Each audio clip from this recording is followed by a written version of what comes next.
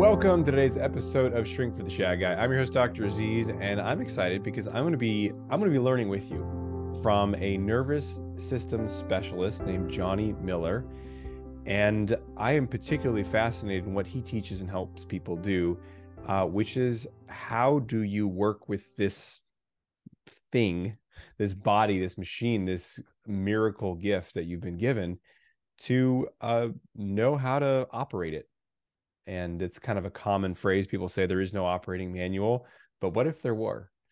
And uh, Jonny has been studying this voraciously for thousands of hours. He has co-authored the comprehensive emotional resilience and leadership report. Um, he has trained and mentored and coached people from high performers and professionals at companies like google and salesforce and slack and helping people to learn how do you how do you operate when anxiety is high? How do you learn to turn some of those dials that can feel in many ways out of control? And uh, we'll get into it uh, i'm sure some in the interview but uh, Jonny also had an experience in 2017 uh, with his fiance that really set him on the course that he is today. So um, Jonny thank you so much for for joining us. Mm, it's an absolute pleasure to be here. Yeah i'm excited for this Right on. So I definitely want to get into the the tools and and how to, you know, how do we regulate our nervous system? Um and but also, you know, what what got you here? I mean, I read a little bit in your bio. Maybe you could tell us a little bit like why why a nervous system specialist? Mm. Yeah, that's a great question. Um, I think I've always been voraciously curious. I, I loved traveling. I started travel company about 10 years ago. And about five and a half years ago, that curiosity kind of got turned inwards. Um, hmm. and as you as you just mentioned in, in the intro there, uh, I I lost my fiance. Um, she suffered from bipolar disorder, hmm. and one morning she was working as a junior doctor, and she had an anxiety attack, and she came home and there was no one at home. I, I was away at the time, and she overdosed on her own medication. Um, and this, as you know, as you might imagine, just completely like broke me, broke me open, turned mm. my life inside out, upside down. Um, and the process of moving through and surrendering to grief really just like it like opened up this like interior landscape that I hadn't been aware of previously. I'd been very much like in my head and and interested and like philosophically curious about things, but just honestly like quite numb from the neck down. Mm. And once this this grief started to move through me, it also opened up other layers of things that were there and begun this um, this quest in a way to kind of understand like what what is going on inside, and that led me to meditation, plant medicines, um, breath work, which is now a big part of my life, and and really looking to understand the nervous system through the lens of things like polyvagal theory and and other um, lenses to understand what's what's going on. Yeah, wow, and I think that's especially important for anyone who wants to have more confidence because uh, mm-hmm. you know confidence is a byproduct of action. We have to take the risk to see there's some story I you know we have about ourselves. Oh, they're not going to like me. I'm not good enough for that. And we mm-hmm. can do some affirmations. We can try to pump ourselves up, but the the true path to confidence is to say, okay, let me see what happens when I go talk to that person and you realize mm. you can handle it or actually you get some positive responses even though your mind only predicts negative so people kind of hear that and they're like all right that makes sense i'm okay but then when it comes to it there's beforehand all the anticipation anxiety during you know you might mm. freeze you might freak out uh, even if you hide mm-hmm. it well it's like super unpleasant and then afterwards there might be a lot of arousal in the nervous system and then that manifests mm-hmm. in kind of a painful way of like self-judgment and rumination mm-hmm. and so i realize as i'm helping people build confidence a big part what i need to do is help them work with their nervous system so they can Mhm. go take these risks. And so I'd love to hear let's start with some of the basics. Like, okay, someone's like, I want to take more bold action in the world, but man, I just get so anxious facing some of these Mhm. fears. You mentioned polyvagal theory. What are some of the core, like, if you're to say, okay, there's a couple things you need to know to start to Mhm. work with this this gift of a body? Uh, what what would those things Mm. be? Yeah, thank you. I, I love this question. And I actually I was having a conversation with a, a previous student yesterday about how courage and self-conviction was like a really unexpected byproduct of of going through this training that, that we did Ah. together. And um Well, I you have a lion big there in the of it- background, so there's a subtle there's a subtle uh, reference there. It's not actually mine. He came Oh. with the came with the room, but uh, that's yeah, great. he's he's here. yeah, so um, I I think one of the like crucial like distinctions and frameworks that like helps land some of this stuff for me is um, I don't know if your listeners are familiar with top down versus bottom up kind of interventions or protocols. And just to sum it up briefly, top down interventions are things like like positive reframes, affirmations, meditation, like things where you're using your mind to kind of like tell a different story and Mhm. show up differently.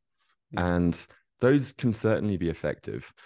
And what I found, at least for myself, is like when there is like so much activation energy in my system, and you know, my hand might be like quivering, it's it's really freaking hard to, to like Mhm. access that and Mhm. to to kind of make those shifts in the nervous system when you're in this like high tone sympathetic state. Yeah, it sort And of so- often falls flat. It's like not convincing. It just feels like Yeah, it's like- it's- or, it's like- we're trying to sell ourselves. Try again. And then the judgment comes back in and it's like Yeah. Yeah. yeah so so what i've really enjoyed working with and what i've found to be really empowering to share with people are these so-called bottom-up protocols which, which basically means like working with your physiology first. And there's actually some quite interesting neuroscience behind this in that we have um, four times more neurons going from our body to our brain as we do from our brain to our body. So it's actually it's like more effective to intervene at that level. Hmm. um, there are there are different protocols that that you can use um, but my favorite and i think the, the kind of most effective is using the breath and there are kind of three or four different core breathing practices that i teach but the the essential principle is having a longer exhale than your inhale so Mm. it might be inhaling for a count of four exhaling for a count of eight or doing like a, a full breath in and then a sigh on the exhale. So it's like, and it's like this relaxed, effortless sigh. Um, another one that I like to use is is called the single breath hum that also has some great research behind it. And it's basically again like a full inhale in and then like a mm, all the way to the end of the exhale Mm. and you can you can combine these you can just kind of choose one um i sometimes i'll like do it in the bathroom sometimes if i'm at like a social uh, event Mhm. and i'm feeling like Mhm. overwhelmed or i used this before giving a tedx talk um that when i was i was terrified. Like it was just like i was shaking. My my mind had gone blank. I was like judging myself. And like 3 minutes of this just dropped me into this state of like complete calm and Mm. stillness and presence. Mm. and it's it's amazingly effective. And i think it, it's one of the most like um like shocking like before and after effects. Because if you if you tune into your body before and then you do one of these breathing protocols and then tune in afterwards it's like it's like whoa like there's Mhm. just this like relaxation. And another thing i like to talk about is how the way we breathe there's, there's a part of our brain that's basically spying on the way that we're breathing. And if say if i'm talking to you now and i'm breathing like shallow in my upper chest like almost like panting it will activate my nervous system and then that will send signals to the endocrine system which releases certain hormones which then like reinforces the the thoughts and feelings that then create the breathing pattern. So it's like this vicious mm-hmm. cycle. But if mm-hmm. you change the breathing pattern it then sends signals to activate the parasympathetic nervous system which sends different hormones different changes in blood chemistry which then produces calmer thoughts and feelings. And so I, I find it really interesting that instead of instead of intervening with like trying to force our way to think or feel differently. If we change the breath that then changes the physiology which which shifts the types of thoughts and feelings that just arise.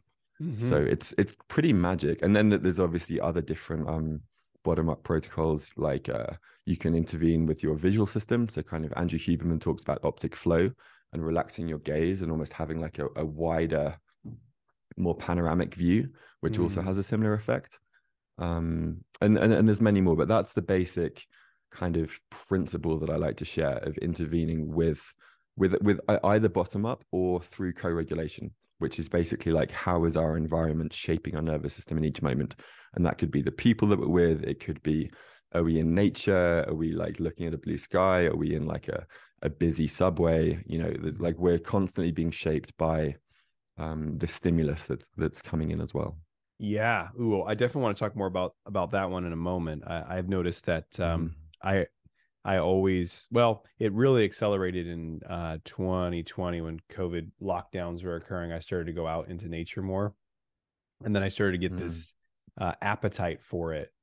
Uh, I, would always done stuff outside, but you know, a little bit here and there, and it became like, oh, I want to spend all day on the mountain, you know. And we it, so it got so yeah. strong that we actually moved out into a forest about nine months ago. And oh, wow. my desire to be outside, it's just, yeah, I want to spend I try to get, you know, at least three hours a day outside if I can. Um, and it's just this, it feels like my body, my nervous system from the bottom is drinking in something. And I'm, I'm amazed by it. It's like, oh, yeah, I would actually want to spend like seven hours a day outside. You know, like, logistically, it's hard to pull that off at this point. But yeah, um, so we'll talk more about that environment. I think that's really important. And um, but let's just for those. I love this whole idea of bottom up. It's such a simple understandable way. And those techniques, just a few you threw out there, are really, really impactful and powerful and easy to remember. Just like breathe out mm-hmm. longer than you breathe in, breathe in and mm-hmm. hum until you're done with the breath. Mm-hmm. Um, so when you're doing those, like before the TED talk and you're kind of in the moment, you're mm-hmm. stressing, your mind's racing.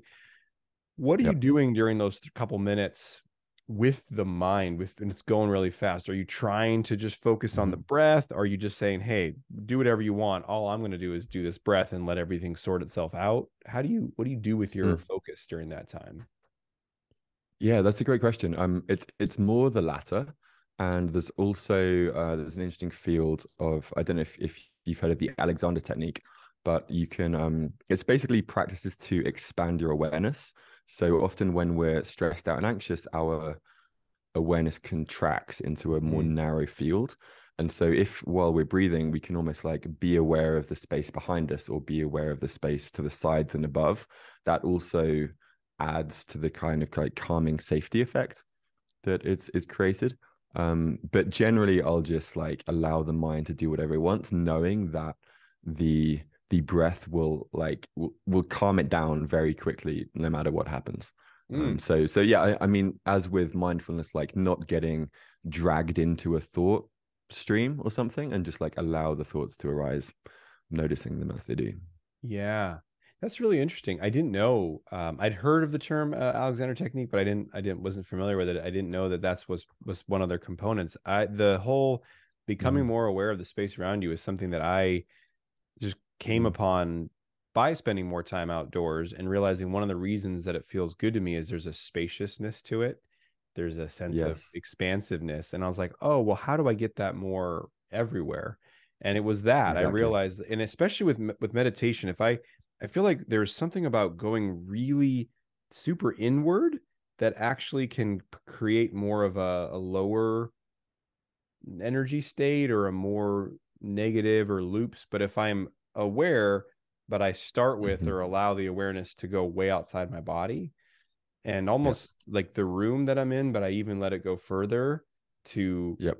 through the walls and the ceiling that all of a sudden I can focus inward in a much more uh, just a better way. It's not like a mental exactly grinding, scratching kind of way. Yeah, exactly. So I, I've been in conversations with my friend Michael, who teaches the Alexander technique, and uh, I have a th- I have a hypothesis, I guess, that the the state in which our awareness is expanded is correlated to the state of ventral vagal, which is basically like our social safety social engagement branch of the nervous system, which is what we're accessing when we're doing these breathing practices, when we're when we're kind of taking these big sighs, like that's using uh, it's like bringing us into ventral vagal tone. And my my experience, at least, is that when my awareness is very expansive, it's it's using that same part of the of the nervous system as well. Interesting. Can you say more about that and the ventral vagal nerve in general, just to kind mm. of describe what what's what that uh, yeah function of that is and yeah, totally. So this is um this is drawing from polyvagal theory, which is the work of doc, Dr. Stephen Porges. Um, it's it's an amazing amazing kind of lens through which to view life, honestly. And uh, the the the basic kind of distilled version is there are three branches of the nervous system. There's the sympathetic, which a lot of people have heard of, is like the fight, flight, activation, intensity. Mm-hmm. Um, then there are two branches of the parasympathetic. Sorry, my puppy is puppy's on the loose, chewing on my feet right now. um, yeah, so that there's two branches of the parasympathetic nervous system that known as the dorsal and the ventral vagal. The dorsal is like the handbrake. So it's it's like the fuse. It's like when there's too much energy in the system and we we you know we can't take it. It's like we go into collapse. It's like shut down, freeze, like just uh, like overwhelm. And it's also where depression tends to live and these kind of more like um inward kind of sensations. And then ventral vagal is the the social engagement or like like when we feel safe, when we feel like mm. we're connecting deeply with other people when we're in nature um like nature is a great way of getting us into this ventral vagal system. Like when i'm cuddling my puppy that's down here and, and it, she's not biting my feet like that's mm. like that's that's ventral vagal and and and the, the breathing practices too. It's like sending signals to our body that like we're safe. We can engage with other people be social have our awareness be expansive. Um and and this is often what i think a lot of the nervous system work comes down to is like retraining this ventral vagal branch of being able to feel um, relaxed and safe in different environments. And the ventral and dorsal, those are just references to which uh, part of the anatomy of this particular nerve is activated or is being used. Mm-hmm. Yeah, so the, the, the dorsal kind of neurons are more down, you know, like like pelvic floor, like this kind of area. Uh-huh. Um, and the the ventral is more like kind of the right side of the neck, going down into, into the heart. And you can even put put a hand on on your on your neck and like imagine that you're feeling into like the ventral branch, which is part of the vagus nerve. Yeah. Wow, that's really fascinating. And that sense of relaxed, I'm safe and connected to others is you know essential for for con- social confidence and that's really getting into that state and that's kind of what the whole mm-hmm. purpose of the exposure work and the training is like how can i approach social interactions mm-hmm. as you know f- instead of from this uh, sympathetic i'm going to die state or there's a high risk mm-hmm. here is helping mm-hmm. retrain people to see like well actually i'm not at risk right now even if they don't like exactly. me that's okay. I'm not gonna, yeah. you know. And so I think there's some retraining and really getting into that ventral state where it sounds like the dorsal ventral is more or dorsal uh, vagal is more um this kind of self it's a self protection of a different kind you know one mm-hmm. self protection is mm-hmm. like run or fight and the other self protection is collapse or freeze or fawn maybe Ex- exactly exactly yeah and and with, with the dorsal um it's when it's kind of like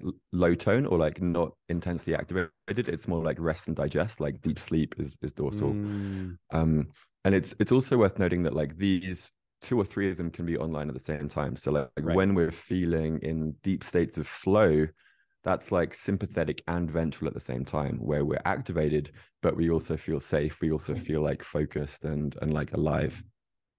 Wow. That's really interesting and I think uh, very helpful too to just remember some of these tools because I find sometimes uh, I will be let's say I'll like last night I was teaching a group call you know they're going long almost goes three hours and I leave and I'm just uh-huh. like in this energy rich state I'm like ah but it's time for bed you know and uh, so I'm up for two hours uh-huh. and I think I it's helpful for me to remember some yeah. of these tools because sometimes I'll think of them when I'm feeling bad you know I'm I'm stressed out I'm anxious but when I'm feeling yeah. energized, it kind of feels good. And it's like a little yeah. kid who's like, I don't want to go to bed. Yeah. But that there's still yeah. like a, uh, it's not the time to be fully on and aroused and ready to go. It's the time to start to send Totally. that calming message. Totally. Yeah. The, the, the states tend to be quite sticky in the sense that, like, when we're in sympathetic, it feels good to stay in that. Or when we're in dorsal, it feels good to, like, go into whatever that sensation is. Um, Yeah. yeah. I, I mean, I'm, I'm the same. Like, my partner and I try and we have like a hot bath in the evenings or we go stretch, doing some breathing practices as we stretch as well.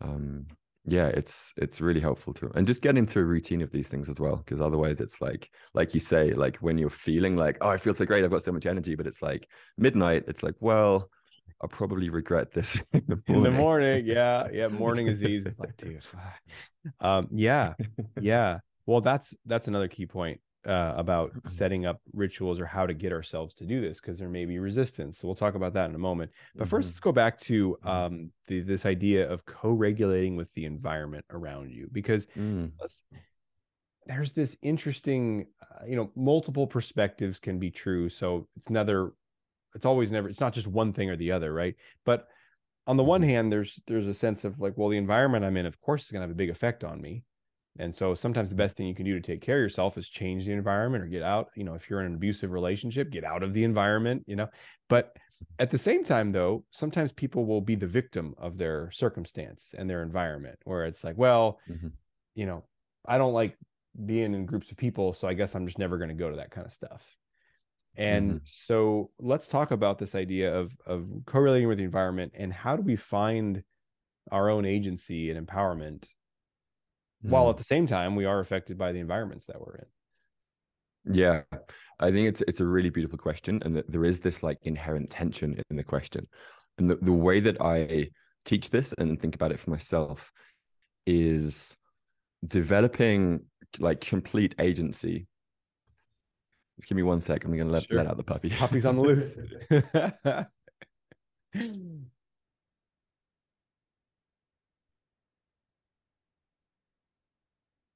She normally gets to walk at this time. Um, yeah, so I, I think about this both in terms of um, knowing that, like, no matter what environment we're in, we are capable of down regulating, downshifting, and, and accessing that place of calm. And at the same time, um, I have this idea that that we design our environments, and then our environments design us in return. Mm, So we have agency over creating the types of space that we're in, knowing that the the stimulus that we're receiving is going to be impacting us all of the time.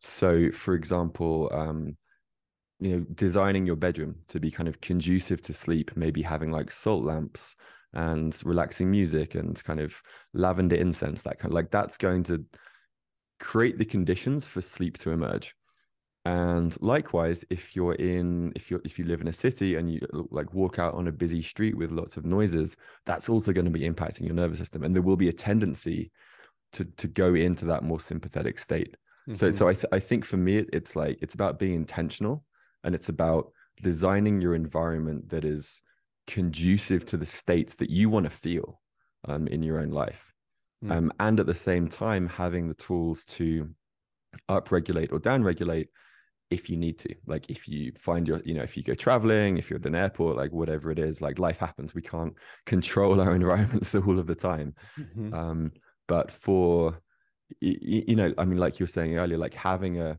a practice of like spending a good amount of time in nature like is amazing and that will impact your nervous system over time as well hmm You mentioned up regulating there. What what exactly is that, Mm. and when would we want to do that? Yeah, great question. So I, I did it this morning, just before this podcast. Um, it's basically like when we are in a kind of state of like like lethargy, like maybe like low tone Uh-huh. dorsal. Maybe we've just had a big meal, and instead of you know drinking two double espressos, you could do something like like bellows breathing or breath of fire, which is a more activating breath practice. Or you could do you know do a workout, something like that, cold plunge, and it creates more adrenaline and cortisol in the system, which gives us like energy when we need it. Mm. Um, so I, I'll have a practice usually in the morning, kind of sauna, cold plunge, and then simple breathing practices to kind of get into that more energized state. Um, Yeah. And then the the downshifting practice is more in the afternoon when I'm looking to kind of like unwind from the day. Yeah. Which which uh which one is um so the the breath pattern that Wim Hof popularized where it's Mm. you know 30-ish fully in and letting go breaths and then a and then a Yep. big hold at the end. Is that one Uh-huh. because I feel like that one for me when I do it, it's I will feel a mixture of energized and calm afterwards. So I don't know if I'm sure. upregulating or downregulating with that one. Yeah, it's um I I actually I tend to stay away from recommending Wim Hof to many people in that because it's so intensely activating for people who have a a proclivity towards anxiety, things like that, or panic attacks, it can really destabilize people. Mm, Um, and I've spoken to many students who've had uh almost like like long-term dysregulation as a result of doing too much Wim Hof. mm, Um, so I tend to recommend a a slightly like lighter um uh breathwork practice that's just through the nose. If you're breathing in and out through the mouth, it's it's very activating. Um, mm. So it f- for some people that have healthy nervous systems, then yeah, it can definitely have that energized but also calm. But if if you're someone that you you know maybe you have a tendency towards depression or towards being overactive or burnout, then I, I'd really uh, I, I wouldn't recommend Wim Hof, certainly not on a on a regular basis. hmm So, what would you? Let's say someone wants to get into a more energized, but not, Mhm. you know, uh, I don't know, agitated, sort of ener- calm but energized state. You said something about the Yep. nose. What what what technique would you recommend for that? Yeah, so one simple one is uh, it's called bellows, bellows breath or Kapalabhati in like the, the yogic world. And it's basically 30 rapid exhales through the nose and kind of pump using the belly as a pump. So I could do a little demonstration now. It's yeah, like, yeah. So you're kind of pulling the. So on, on the exhale, the belly is coming in and it's like yeah, you're pumping pulling the, belly air towards the spine. Yeah, exactly. and then the breath is coming air out the nose, and then you're just breathing quickly in through the nose to to replenish the breath. So it's like in out in out. The, the inhale happens naturally. Yeah, you don't yeah, have it's to like an automatic about the inhale. response to that. And you exactly. do like And then 30 it- of those or something? Yeah, usually about 30. And then I'll do um, either hold on the exhale for 10, 15 seconds.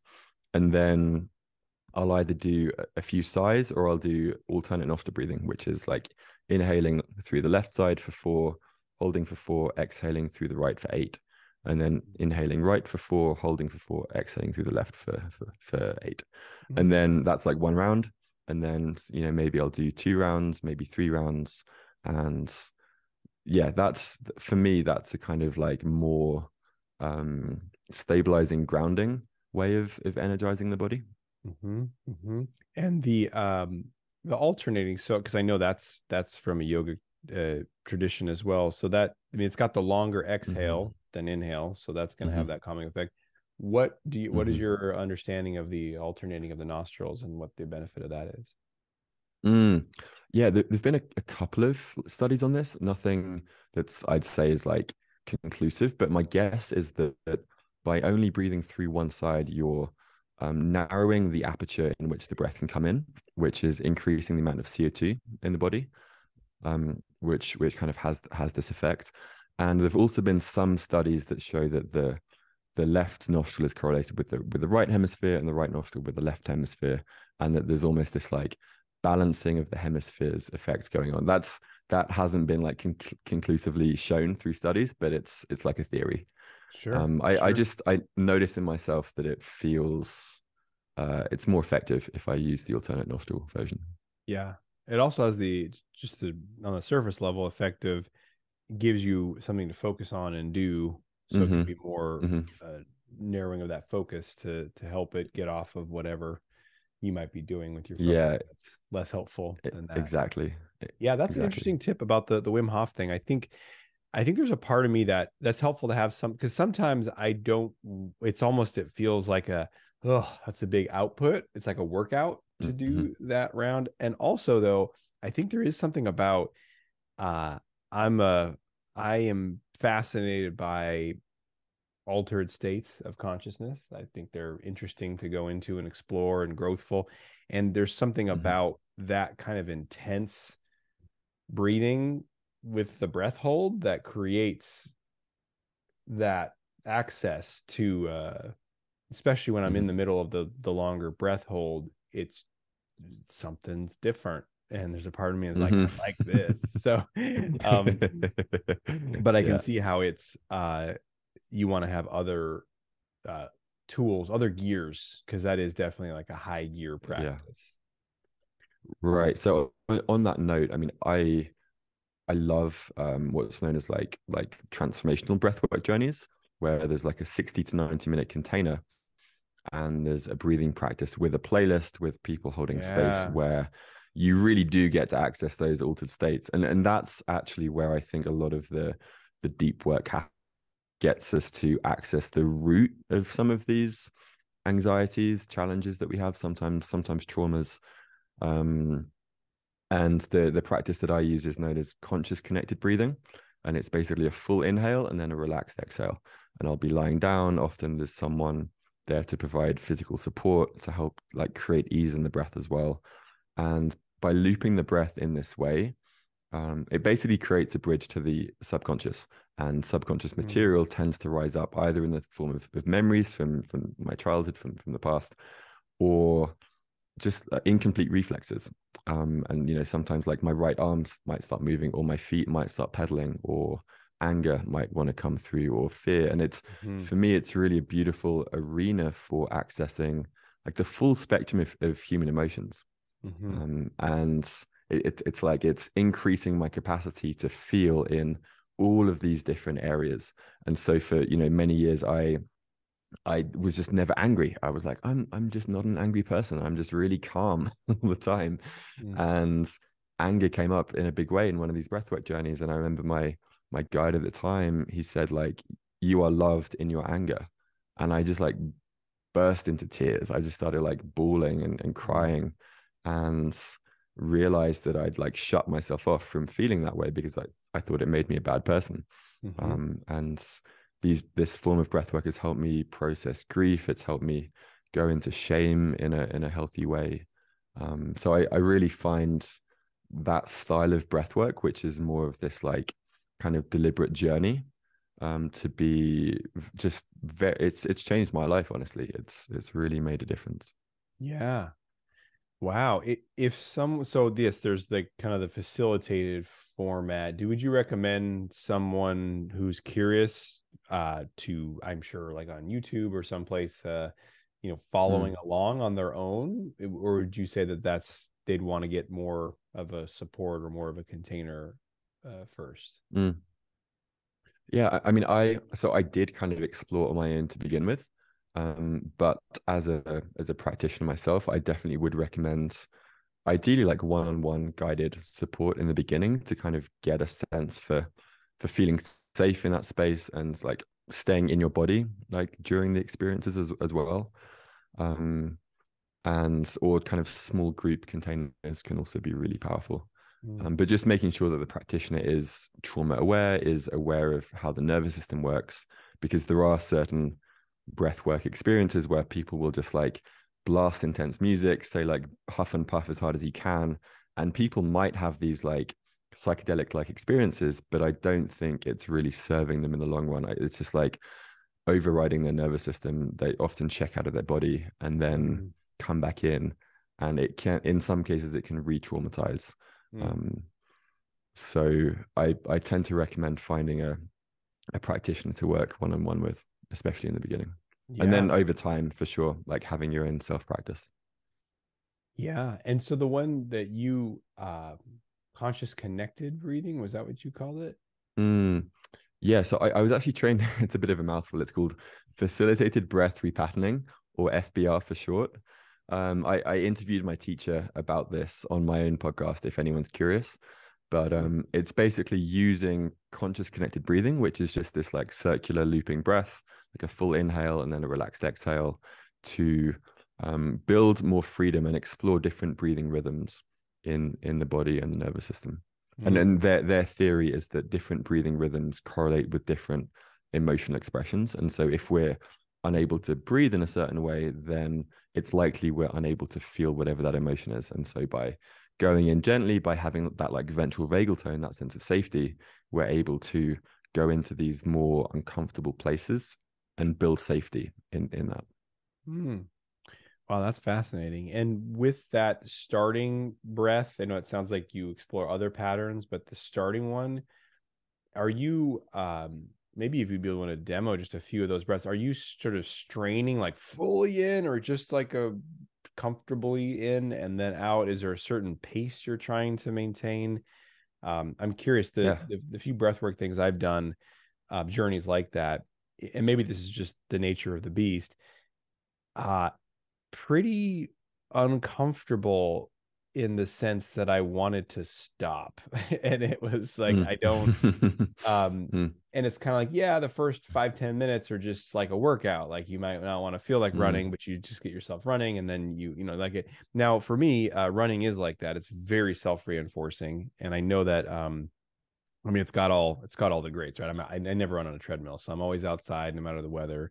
And I'm, my mm-hmm. breathing mm-hmm. gets really regulated because I focus on it often when I'm running and uh nice and so yeah within no matter how much i'm resisting it being in the warm house the you know within three minutes of being outside i'm like oh this is i'm so glad i did this whereas yeah. with the breathwork journey i found that it's kind of like a um there's like an efforting to do the breathing but i'm not doing a physical yeah. activity that that makes me just want to breathe deeper like that. And so there's like sure, a propping sure. it up. And that might be again, I'm curious if that's the nature of the beast or that's just the style that I was using or what are your thoughts? Yeah. That. Yeah. So th- this is definitely it's like a big topic to go into, but the short answer is there are versions of breathwork like holotropic, which was developed by Stan Grof, who yeah is an amazing human being. And I also don't believe that like that style of forced inhale and forced exhale is like serving the nervous system. So conscious connected breathing is it's like an inhale as far as you're comfortable and it's almost like going through gears so you start off in like first gear second gear and then as the music ramps up you find yourself naturally inhaling more and accessing more of that like the upper part of the lungs mm. um so i mean to demonstrate briefly you'd be you'd be lying down obviously but the principles are open mouth relaxed body the top of the inhale meets the exhale, the bottom of the exhale meets the inhale. So it's like circular with no pauses at the top or the bottom. And then it's like a vibrant inhale, whatever vibrant means to you, and then a relaxed, effortless exhale. So I, I'm a freediver. I have quite a big lung capacity. So my mm. inhales are quite vibrant, but it's it's always easeful. And and whenever we are over efforting or like pushing ourselves, that's a sign that we're like holding on to something um, or that there's something to kind of relax into. And and this often shows up in our lives too. Like when I when I breathe in that way, there's a chance that I'm like I'm like forcing my way through life, or I'm like gripping on tightly, or I'm like afraid to let go. And it's interesting how I think like the way that we breathe does have these. It's almost like a mirror to like the patterns that we have in in life as well. Mm.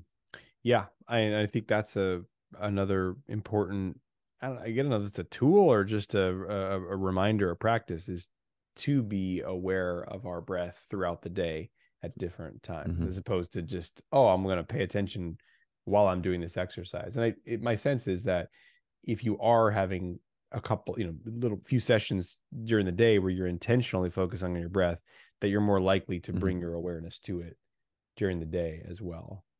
To to to yeah. Um, to just to, to to know how to influence things in the moment rather than letting totally. the pattern yeah. play out and I don't know what's going on, but now I'm irritated and sad. Yeah, yeah. I, I think that's a beautiful that's a beautiful point and something that I I'm really passionate about talking about is this idea of interoception and somatic awareness and like noticing the early signs of a reactive pattern. So you know, a lot of people they it might not be until they like shout at their partner or they lose their shit at work. But if you can like be tuned into your body you'll start to notice like oh i'm feeling this like tension or heat in my chest. And that is usually correlates with i then lose my shit at someone. Mm. um and so the more of this like somatic awareness or interoception as it's known um the more that we can be aware of our like early tendencies or early warning signs of going into reactivity in certain forms and like intervene earlier while it's it's easier and you can kind of catch it and you can calm down. But once you're once you're past a certain point it's pretty hard to like reel yourself in you know? Like once you've once you've gone into that like hulk mode or whatever the whatever the pattern is yeah which brings me back to something that i wanted to make sure we circle back to i guess there's kind of two sides to this one is around uh practices and how uh staying consistent with them the other is mm-hmm. okay in the moment when this would be a good thing for me to do uh, sometimes there's a mm-hmm. part of us that's like no i don't wanna and we either tell ourselves it's not going to work which is total bs but uh-huh. we just or there's just like uh-huh. i don't i don't want to do it calm down yeah. you know i don't want to so um yeah uh and, and i think one way to help uh, us stay with a practice is w- when we can link it to something awesome so you, you mentioned uh andrew huberman right earlier in the huberman mm-hmm. huberman yeah he mm-hmm. uh he said something a while back that really got me. So I'd done, you know, cold uh, showers and stuff for a number of years, but I don't know, there's about a six month period where I was real uh, loose with it. So I'd, you know, I'd end my nice hot shower with 10 seconds of cold and be like, I did it. I did it. You uh-huh. see that, everybody? Right. so then I was listening to him uh-huh. and he uh-huh. was talking about creating the conditions of summer inside of your body. So this idea, like, you know, we all mm. feel good when we walk outside and it's summertime and it's that's naturally happening. And then you go outside when it's cold and the winter, and you're like, Ugh. and he's like, but you can actually create those conditions, and so it's you know getting sunlight pretty soon as you mm-hmm. can upon waking, and uh, and doing yep. the cold exposure, and so just that that little framing of making it mm-hmm. summertime in my body. I'm like, okay. And so I, as soon as I heard that, I got back onto, you know, doing a cold, purely cold shower every day. And it's sure mm. it, it's, it works. So what would you say is that uh, impact that that that can sort of make us want to do these practices to really link it to something uh, mm. so what what is the effect would you say of having a regular practice of working with our breath on purpose each day mm. yeah um this is a great question and I've I've read a lot about kind of behavior change and you know James Clear's like idea around habit formation, and I think there's a lot there. But I think for me, the fundamental piece is like is like find a way to enjoy it. And often for me, that's like tuning into my body and realizing that like I feel really good during and after. So mm. when it comes to like doing it, th- there's not really any resistance because it's like I'll mm. feel really good like mm-hmm. during and after this and even in something like ice baths um there is that initial shock but very quickly it's like oh like this even the intensity it, it feels really good if you yeah. like really tune into your body. Um it's more of like when we're out of our body we're in the stories it's like oh, oh i want to go out i want to go start my day like whatever it is. But if you're in your body it's like no i feel alive like this is like invigorating. Yeah um so so for me it, it's like giving people experiences of whether it's these breathing practices, whether it's like NSDR that Huberman talks about as well, which I'm a huge fan of. Um, and I find that when people are tuned into their body and the, sen- the, the actual sensations, then they really start to enjoy it. And it, it's more when they're like in their minds or in their heads, or they're thinking mm-hmm. about what they want to be doing next, that that resistance comes online. Um, and related to that, like if there is a voice that's like, like I don't want to do this, then then like feel that like go into the body like where is that voice coming from and like feel that resistance and like go into it all the way mm. and don't like reject it but just like invite it as like another thing to to experience mm. um and and this of course i think it does take some time and practice and in the beginning accountability structure definitely helps but over time the more that we're like tuned into the sensations of our body or uh, like the somatic awareness the more we just trust that and the more it becomes like a like a compass and like a guiding way we orient through life like whether we say yes to certain things how we make decisions how we like what we eat you know all this stuff instead of like mentally trying to figure it out. It's like does this feel good in my body? Do i feel expansive? Do i feel alive? Do i feel drawn to this? Mm. um which i think is a radical rewiring from how many of us grew up, at least certainly speaking for myself, where I was very in my head with everything. and I made spreadsheets to, to make decisions and all, all that stuff. Um, but that's I think that's been one of the biggest gifts for me in this work. Yeah, I love that. And you mentioned several times cold plunge. Do you have a cold plunge that you set up? And if so, what what kind is it? So I've been looking at those. Yeah, so like, I, oh, do I want to do like the DIY chest freezer thing? And I'm like, ah, I don't know. And it's another thing to maintain in my house. So I'm curious what what you got going uh-huh. on over there. Yeah, so I, I just did the DIY chest freezer thing. I bought a chest freezer for I think it was like five hundred dollars. Put some like sealant in the inside, and uh-huh. then uh-huh um, that's pretty much it, honestly. And then just keep it at a, a consistent temperature. So Do you have like water so pumps to circulate the water and all that stuff? I, I don't. I just re I empty the water every two or three weeks and that, and and put in some um it's like hydrogen peroxide, I think, just to keep oh. the water from going bad. Uh, oh. Well, that's it's the same stuff that they they put in hot hot tubs. Yeah, that's the easiest approach. You can. There's some companies I think they charge like four or five thousand dollars for. Co- I'm like, no, I'm no, gonna... if, dude, that's true with everything in life. If you can just DIY it, it's it's astronomical yeah. the difference. Yeah, right. the thing or, I was or I mean, at. Oh, go ahead. You, can also just use it. Like sometimes if we don't have that, we'll just like run a cold bath, and the the water here is very cold, so that also yeah that's the uh that's the the the the quick and easy approach yeah i mean if, if you don't the one i was looking at like they're drilling through the uh freezer wall to run their why their pump lines and i'm just like well i don't know about all that so mm. um mm. but the idea if if you can just uh cycle out you know so how do you we're not going to turn this into it make your own cold plunge podcast. But one last question, because I am curious about it. Uh-huh. Uh, you're draining the water. If it's inside your house, how are you draining the water? It's outside. It's, it's on outside. The, the do you do you yeah, have to worry about the temperature, the ambient temperature around the freezer d- damaging it? Like if it gets too cold? Sometimes it it really damages it. I think it did get really cold here at some point, and then it, it just turned into ice inside, and I just smashed through the ice, and that was fine. Uh, you just get maybe a freezer yeah, that's rated to go down to freezing temperatures or something. Yeah, it, yeah. precisely. Yeah, like a meat All freezer. Right. Well, that because I mean I do the cold showers, but I'm like, man, the cold plunge yeah. is a whole nother level. It's another level. Yeah. yeah and especially if you have like some kind of like like a, a sauna or like a steamer, something like that, it it's it feels great. It's one so of my start with practices. that and then go into the cold. Yeah, usually some kind of workout, then 10 minutes in the in the hot sauna and then the cold and maybe do two or three runs. Yeah. Oh, now you're talking. All right.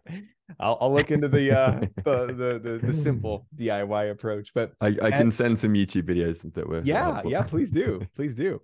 Um, and you mentioned uh, a couple of things. So you mentioned you had your own podcast. What's the name of that mm-hmm. podcast? Yeah. My podcast is called Curious Humans. Um, it's been going for a few years, and I I love it. Yeah, I kind of have conversations like this, honestly, with people who are experts in different areas of life, things that do relate to the nervous system, but also outside of that as well. Um, yeah.